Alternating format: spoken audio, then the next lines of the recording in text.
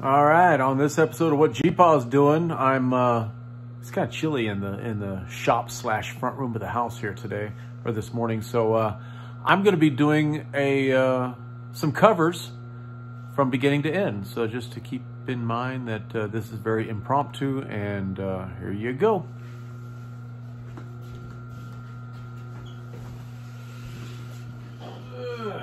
So I'm going to get my material.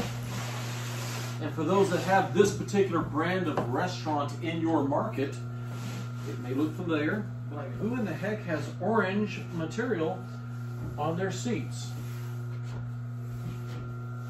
Well, one of my biggest customers does, and I am very thankful for the business in these challenging economic times and climate. But um, then we're going to take our pattern that I have uh, here. Let's try to put my name or cover up their name. I have the pattern of the ends and the dimensions. So we're going to go with a 56 and a half long and we do 27 and 5 eighths width and put a stretcher on there. I've already sewn this, or I've already cut out the stretchers. These get sewn onto the 27 so that it goes around the backside where you can't see it. So we're gonna go here. Just to confirm that we are at 55 and a quarter inch, which means we are 27 and 5 eighths. And because I'm not really good at math, even though math is my strongest subject, I want to mark it, flip it around, and we're exactly the same. So we're going to go up here. There we go. We're going to go here. And 27 5 eighths. And then we're going to go mark it.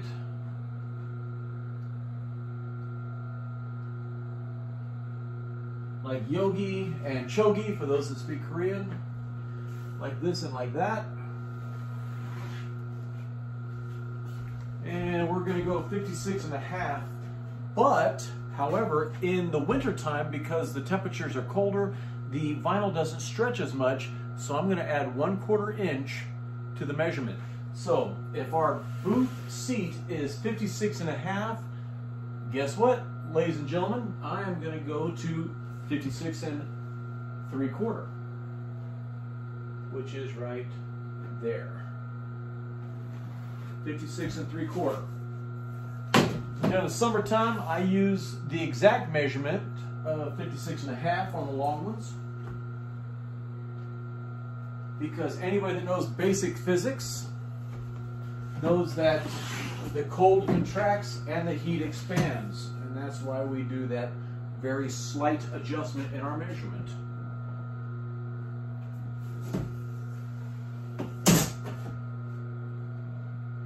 Okay, now what did I mess up here?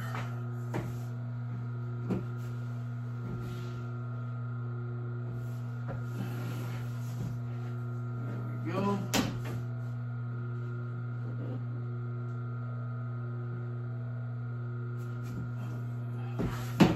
Now, because I am very OCD, I quadruple check all of my measurements.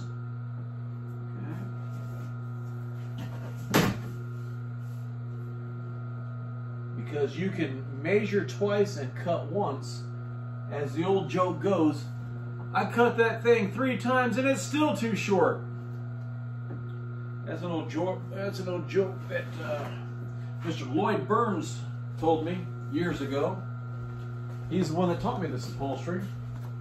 He's no longer with us, but um, his legacy still stands by. So now we're going to cut this, and then we're going to sew it, and you are going to see the creation of a seat cover for a restaurant here in this anonymous market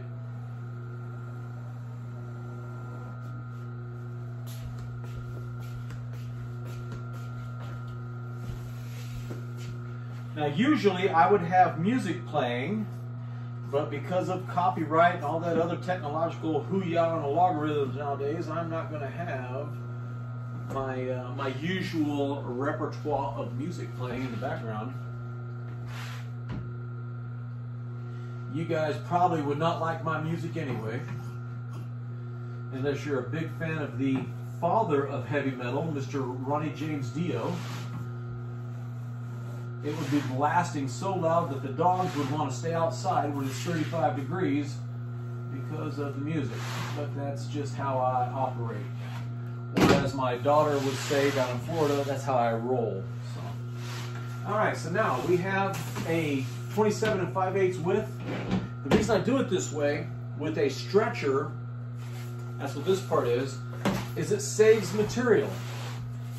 The vendor that provides this material to the customer, which then provides it to me, I want to save them a few yards of material because I am cognizant of the fact that they do buy the material and I want to give them a better value for that material that they purchase to accomplish this mission. Okay, we're to back stitch and take my my piece here. Now let me zoom in on this. There's probably three or four miles of thread onto this one piece. It is hundreds and hundreds. It's so stiff from all the sewing. It's hundreds of, of different sewings on there.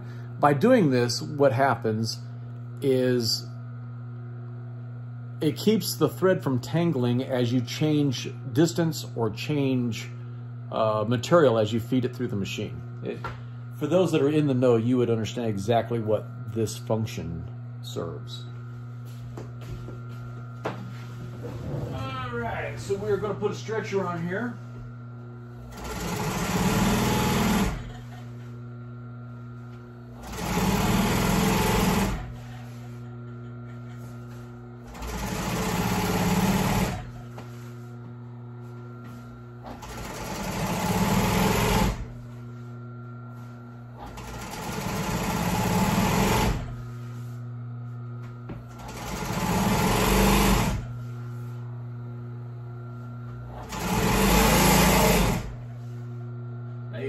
Too fast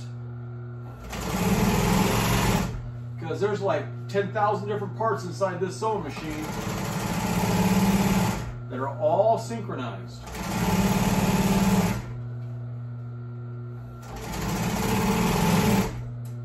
Alright. Once again,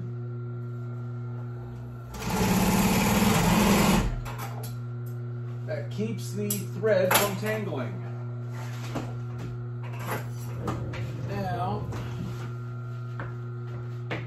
Trim this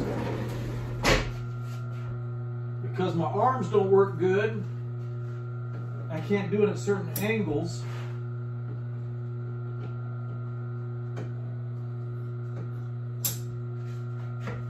All right, so we cut it to length. I'm going to back up and do what is called a top seam. Now what I need to do is break out my other technological device, my iPad, I guess, and do a different camera angle, but but that's okay because OG Paw is not that talented. I used to be, even though I retired from Radio Shack, which is uh, a name that some of y'all might remember, some of y'all may not. They went belly up, and I got out right before that happened.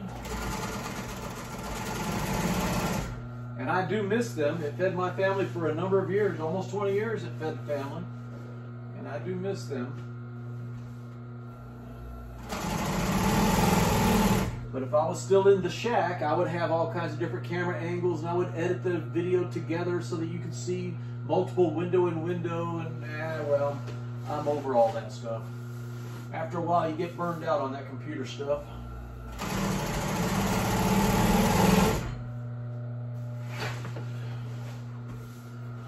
Not be able to see it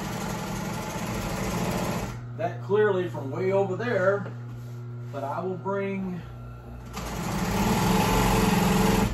I will bring this to you so that you can see it.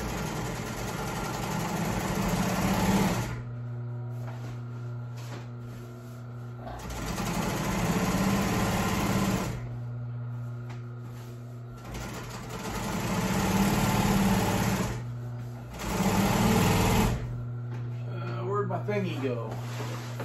Where is my thingy? Where did my thingy go? I've lost my thingy.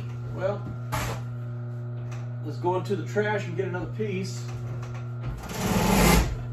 Like that. I don't know what I did with my thingy.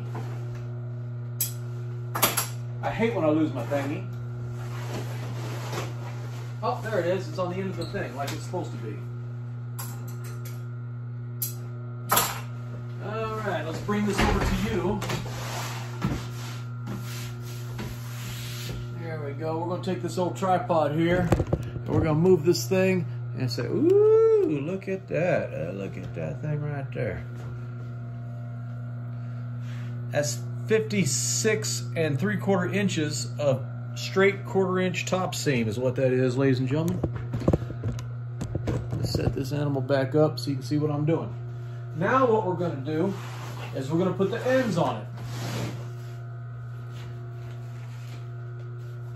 Got a bunch of them that I've already sewn up.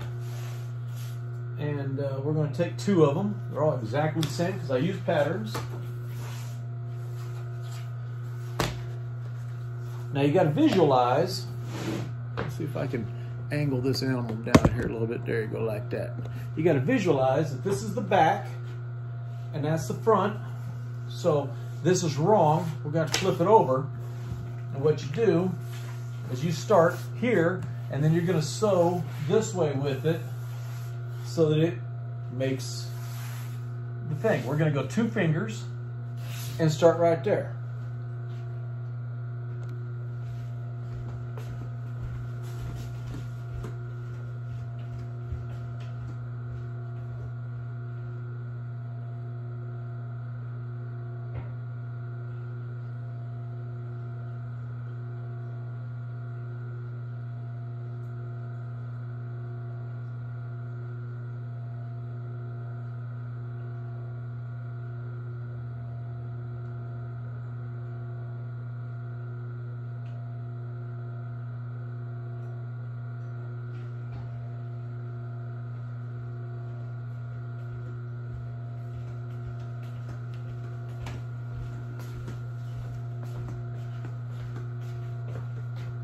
All right, sorry about that. Old G-Pa's getting older, and uh, the doctor's got him on high blood pressure pills, so I got to go use the restroom about every seven minutes, so I apologize. All right, now back to the task at hand. We're going to go ahead and put this end onto this long cover here. After I change the angle, back up to there. There we go. Yeah, this getting old stuff's getting old.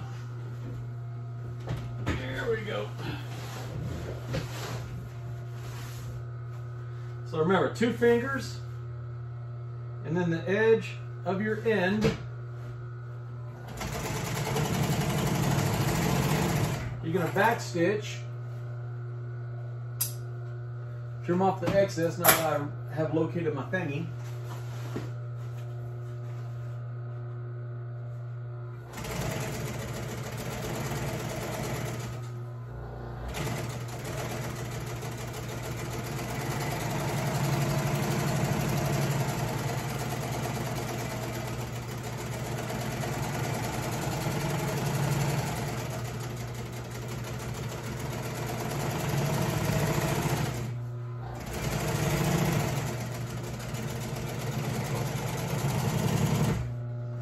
All right, now we're going to go to the other end, which is right here. And we're to grab the other piece, which is over here. Now on this one, because the front side of the of the cover, I use two fingers. On the back side, you need to line it up to the curve that is on that stretcher. I know it's kind of hard to see from that distance, but this is the curve That's the stretcher, and you're going to put it in the center of that curve. The reason for that is because when you install the cover, you're going to pull it down past that curve to make it nice and taut, and it's going to be real nice and smooth. On another video, you will see how that works. Here we go. Put it on the center, line it up, start sewing, do the back stitch so the threads don't come undone, and away we go.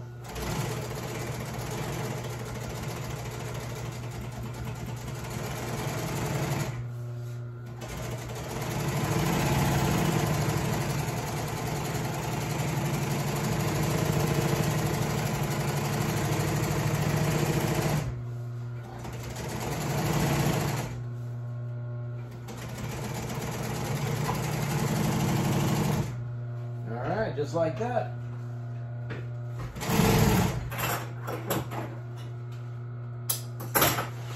Okay, now what we have is we've got a cover with ends on it. Now what we got to do is we got to do the top seam. I'm going to go ahead and reposition the camera so you can see the top seam because that's important. That's what the customer sees, that's what the client sees. So we're going to get all kinds of earthquake on here as I collapse the legs of the tripod. Stand by. I'm not good at editing this kind of stuff with the iMovie and all that stuff, so I just do it on the fly. Now, FDG, Filipino Desert Gardener, she is real good at that editing stuff, but I am not, even though I taught her how to do it. That's all right. She taught herself. There we go. Something like that. Okay. So at this point, it don't matter which one we grab. So we're just going to start here on the back side. You're going to make sure that this flap where you sewed it together is going opposite of the end. So you're going to fold it. I hope y'all can see it. We're going to get it started.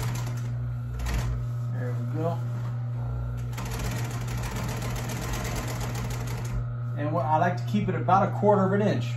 That, that's a very clean measurements for me. It's easy for me to calculate. Three quarter, half, one quarter, zero, that kind of thing.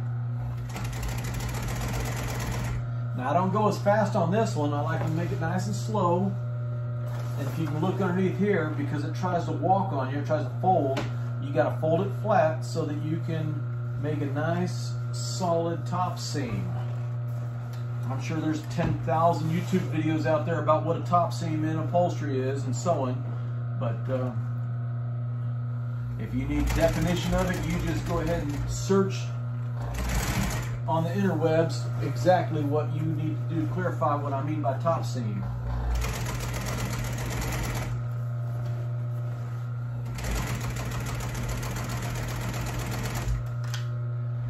I have adjusted and fine-tuned and, and dialed in this machine over the years and now I'm very careful with it so it does not fall out of adjustment but I've got it real nice and smooth. I put a new clutch on the motor and it is smooth like butter.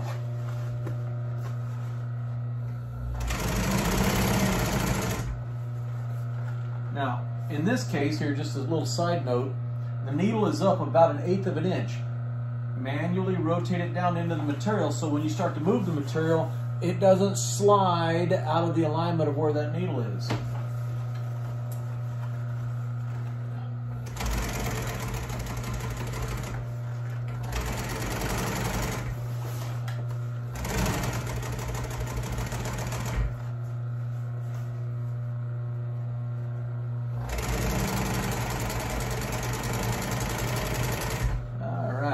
now that you can see that I've got the sewing out of the way, you see this line right here? That's because of my OCD. This tells me to stay no farther than the edge of this line so that I can have a 3 eighths of an inch seam when I'm sewing. It's just one of those OCD things. For those that are out there in the viewing public that have OCD or think they might have OCD. It's the precision of sewing that I find very therapeutic in what Grandpa does, or what Grandpa's doing, or G-Pa's doing. So let's do this other top seam here.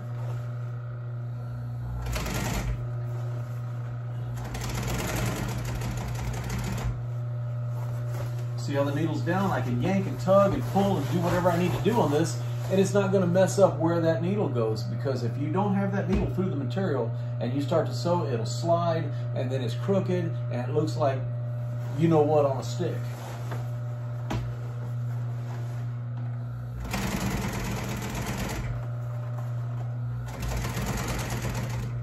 And if you can't get it right with your foot, don't be too proud to use your hand to move that wheel to get it to line up. Checking the fold.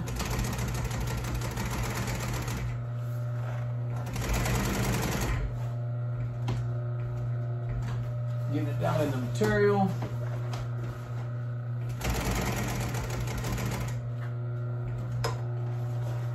I've been doing this for years. Hundreds and hundreds of covers, and I still can't get that needle to land in the down position, so I still have to turn it.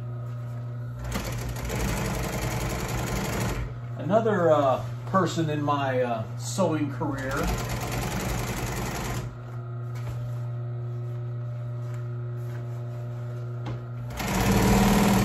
name is Cactus. Cactus the leather guy. Wicked Cactus. You talk about a sewing son of a gun. That guy could sew. He's got an old ancient sewing machine and he can sew like the day is long on that thing. And he does a pumping action with his foot. He goes pump, pump, pump, pump, pump, and it just, it just like a half of a, a, a sewing stroke as he does it. Hundreds and hundreds of hours of him, of him pumping it like that. I don't do that. I still can't get it right. So. If I need that needle to come down, I might I might tap it if my hands are full. But you see how hard that is? It took like three or four of them to get it down there where I can just go like this. But that guy, he's good. So anyway, so what we've got now, I'm just gonna grab this here and show y'all the top seam.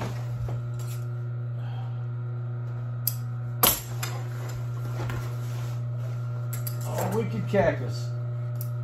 He's a good old boy. He taught me a lot about that stuff. He did a lot of leather work on my motorcycle and taught me how to do it. I'll show you that one of these days, but look at that right there. This is the end of the cover. This top seam that's on the back stretcher, that goes around the back of it, the back of the of the booth seat. So this is the front, this is the back, and this is where the back of the seat is, and you can't see it. But that saves the customer a whole bunch of material. But there you go. Let's look how straight that is. Oh, that's sexy right there. I don't care who you are. All right. In the next installment, you'll see how I install this onto a uh, onto a seat. So there you go. That's what G-Pa's doing.